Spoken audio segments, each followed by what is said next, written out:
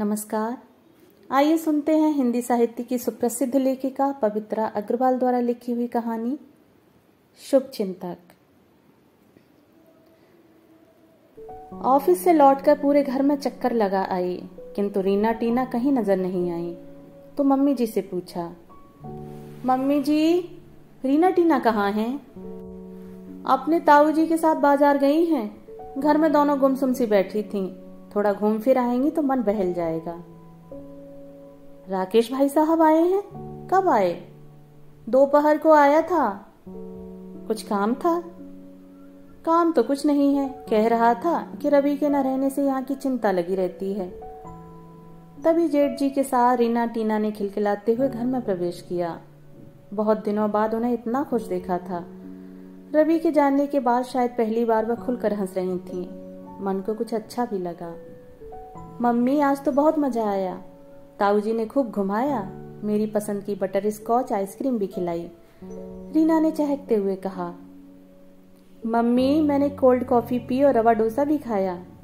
टीना ने गले में बाह डालते हुए कहा, ठीक है, अब जाकर अपना होमवर्क पूरा करो, वरना कल क्लास में सजा मिलेगी। भाई साहब, आप अचानक कैसे आ गए?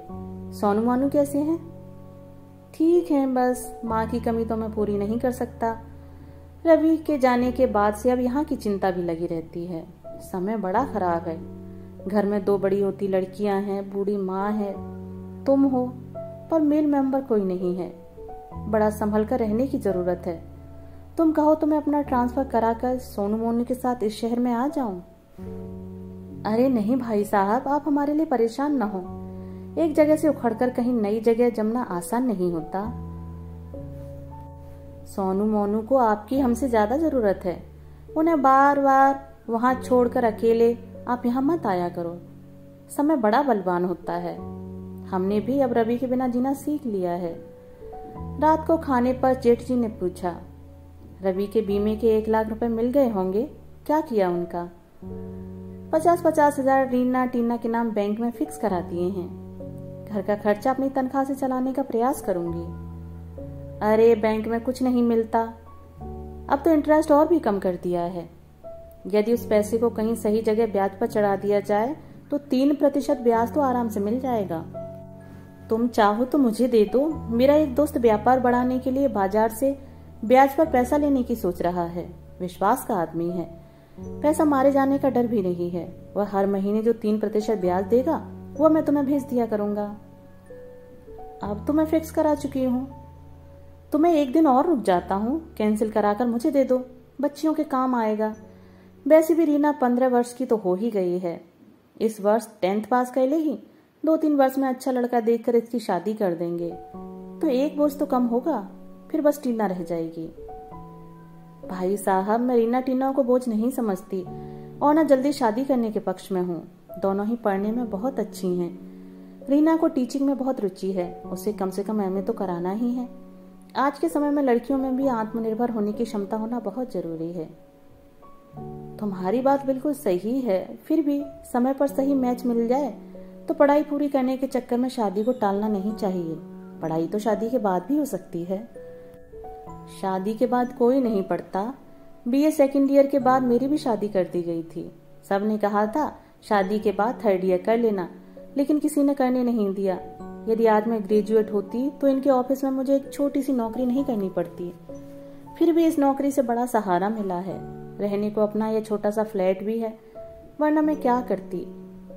तभी तो कह रहा हूँ कि आजकल बैंक में रुपए जमा कराना बेवकूफ़ी है। मुझे दे दो, मैं ब्याज पर उठवा दूँगा। अधिक ब्याज के लालच में पड़कर कहीं मूल भी ना डूब जाए। मैं कोई भी खतरा मोल नहीं लेना चाहती। बैंक से भले ही ब्याज कम मिलेगा, किंतु धन तो सुरक्षित रहेगा।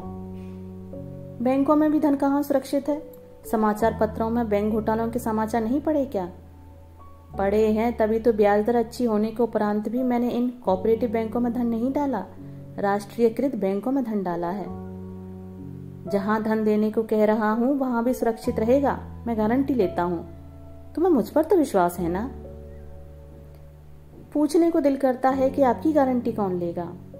आप पर ही तो विश्वास नहीं है, किंतु यह कह नहीं पाई। आप पर तो विश्वास है, पर अपनी किस्मत पर नहीं है। मुझे माफ़ करें भाई साहब, मैं अभी एफडी कैंसिल नहीं करना चाहती। माँ, किरण को आप क्यों नहीं समझाती? मैं इस परिवार का शुभ चिंतक हूँ, इनके भले की बात ही कर रहा हूँ। देख बेटा, यह इसका व्यक्तिगत मामला और अपना भला बुरा वह खुद समझती है। मैं इस चक्कर में नहीं पड़ना चाहती। मैं भी अब और बहस के मूड में नहीं थी, इसलिए वहाँ से उठ आई, किंतु मन खिन्न हो गया था। बच्चों की वजह से मन की पीड़ा छिपाकर मुस्कराने का अथक प्रयास करती रहती हूँ, किंतु लोगों को यह भी मंजूर नहीं है। अनाहूत से ये भाई साहब शुभ चिंतक होने का ढोंग करते, सुझावों का टोकरा उठाए न जाने क्यों बार बार आकर, यादों की झील में कंकड़ी फेंक जाते हैं। उनकी असलियत मुझसे छिपी नहीं है। उन्हें न जाने कब रेस कोर्स में पैसे लगाने का चस्का लग गया था और इसी शौक ने उन्हें बर्बाद कर डाला। उन्होंने जगह जगह से दस प्रतिशत ब्याज का लालच देकर हज़ारों रुपए का कर्जा ले रखा था, जिसे ना लौटाने पर लोग उनकी जान के पीछे पड़ गए थे। नौकरी भी जाते जाते बची थी।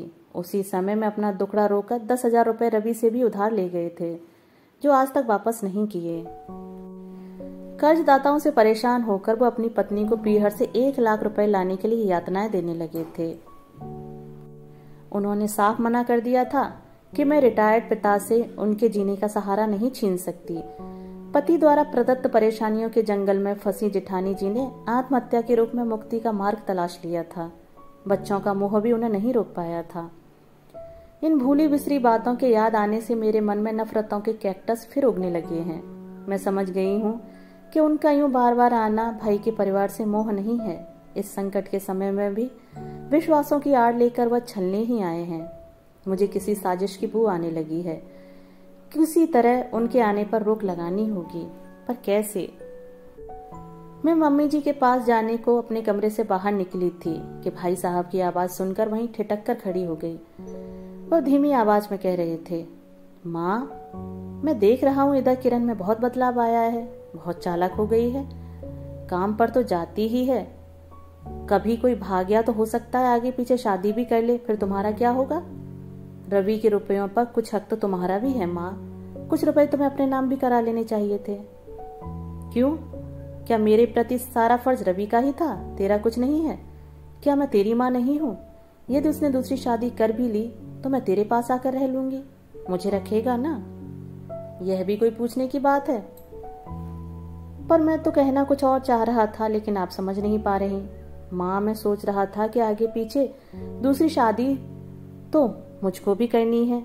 यदि किरण तैयार हो जाए तो उससे भी तो हो सकती है।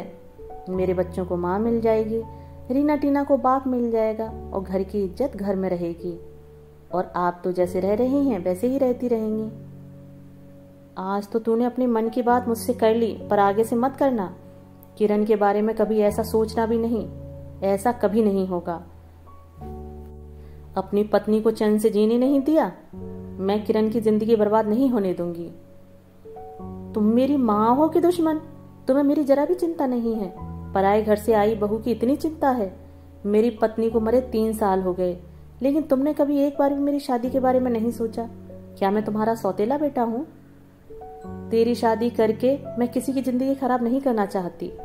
भले ही तू कोर्ट से छूट गया, पर मैं अब भी तुझे बहू का हत्यारा मानती हूँ।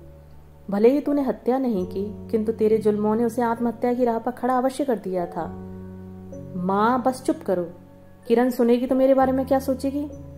मुझे नहीं मालूम था कि तुम्हारे मन में मेरे लिए इतना जहर भरा है। मैं ही पागल हूँ जो अपना काम धंधा और बच्चों को छोड़कर बार बार यहाँ तुम सबके हालचाल जानने के लिए भाग कर आता हूँ। आगे से मत आना।